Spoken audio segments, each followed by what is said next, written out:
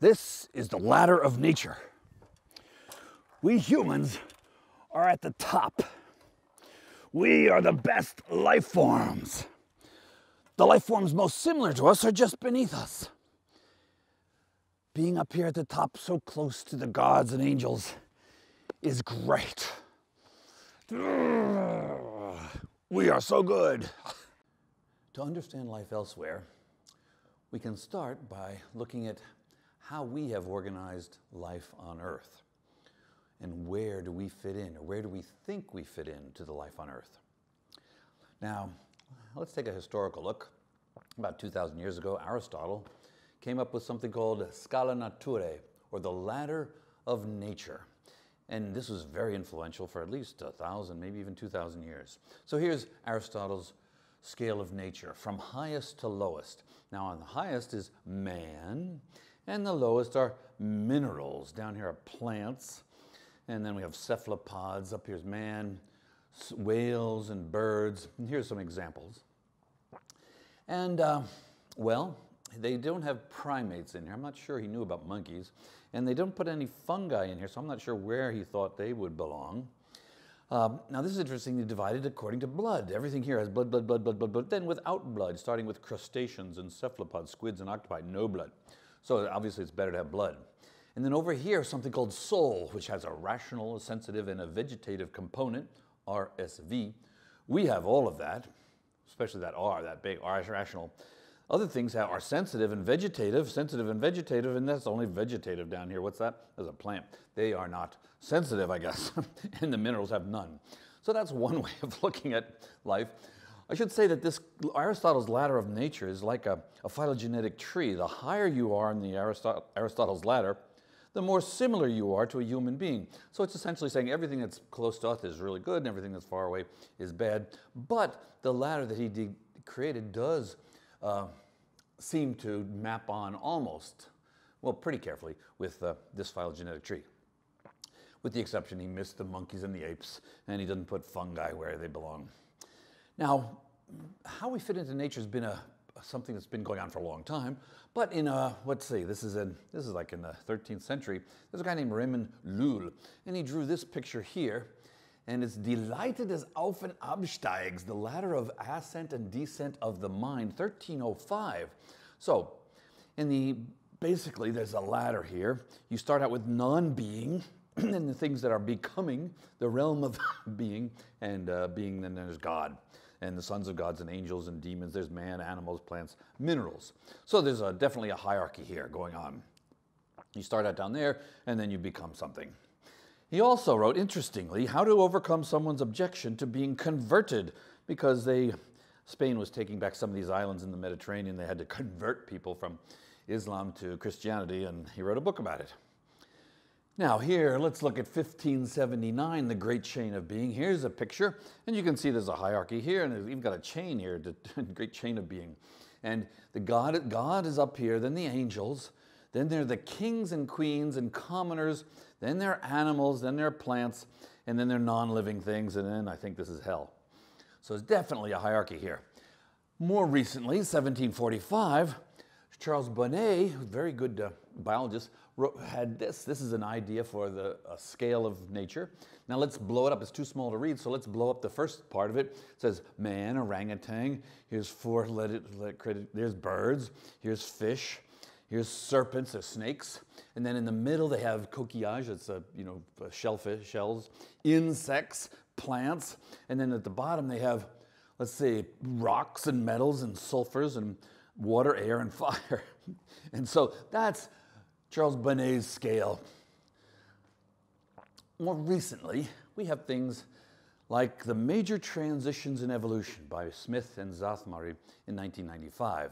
And on the cover, this is the picture, and you can see it's very much like a scale of nature. You have minerals at the bottom, and then plants, and then animals, and then man, some type of, uh, I don't know, Macedonian male.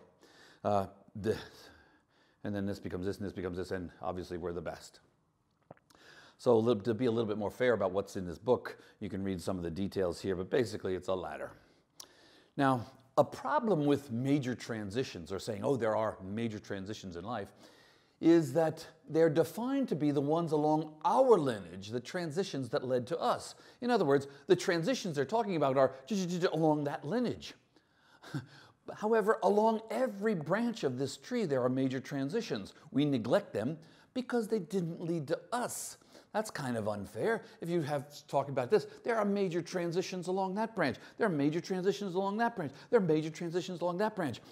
Uh, no, no, they're not important. They're not major transitions because they didn't lead to us. We're the best. Now, there's a couple of other books I'd like to complain about.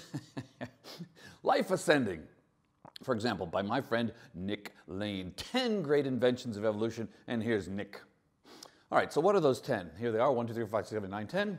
Origin of life, DNA, photosynthesis, eukaryotic cell. Now, life is ascending when it is becoming more like us. Now, that's a little bit, I don't know. All of these, except photosynthesis, are on the lineage that led to us. The implication of that, of course, is that uh, life on other branches has not ascended. Now, in 1871, Charles Darwin wrote The Descent of Man and Selection in Relation to Sex. Bronowski in 1973, 102 years later, wrote The Ascent of Man. So uh, descent and ascent are kind of like the opposite things. But in the literature and elsewhere, you can read things like, the members of the class Mammalia are the most highly evolved of all animals. The human immune system is the most complex of all immune systems. I heard this from a, a doctor who was studying human immunology. And the human ribosome is the most complicated of all ribosomes.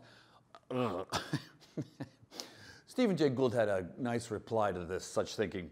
Look in the mirror and don't be tempted to equate transient domination with either intrinsic superiority or prospects for extended survival.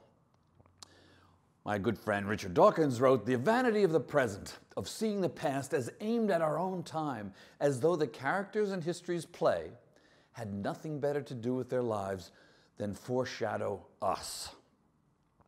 Here's a 1959 phylogenetic tree before there were genes, uh, or just as DNA had been discovered.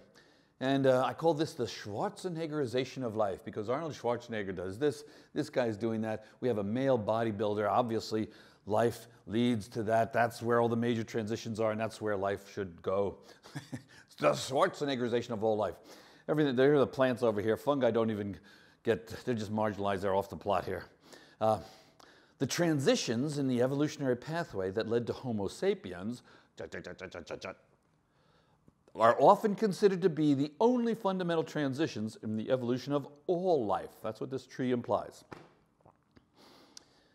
Many Homo sapiens think they are more evolved than other life forms. What is wrong with such pride and self interest? Well, I think in the context of Are We Alone, it reduces motivation to look for other life forms. And it damages the ability to recognize other life forms and answer the question Are we alone? Being so far up, it's hard to appreciate other life forms. Where are they? Where are they? I can't even see. Ah, there they are. Why do those other life forms even exist? We humans have a long history of such self serving classifications. This speciesism may be the largest obstacle preventing us from finding and understanding other life forms in the universe. Mm. Mm. Mm.